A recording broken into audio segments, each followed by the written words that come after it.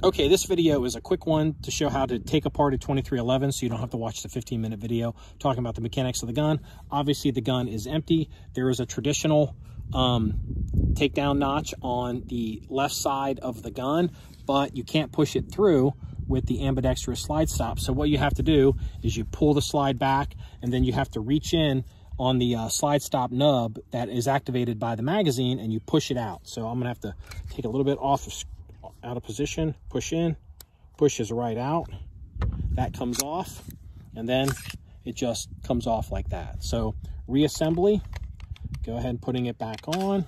Make sure the slide stop, like don't turn upside down, the slide stop goes up in the air. Try not try to keep it down.